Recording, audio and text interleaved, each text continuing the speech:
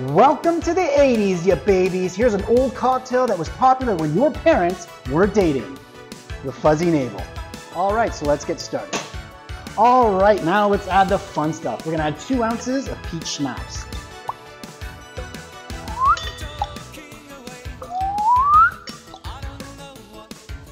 Maybe three ounces. Ooh, ooh, that was wobbly. All right, up next, we're gonna add three ounces of orange juice.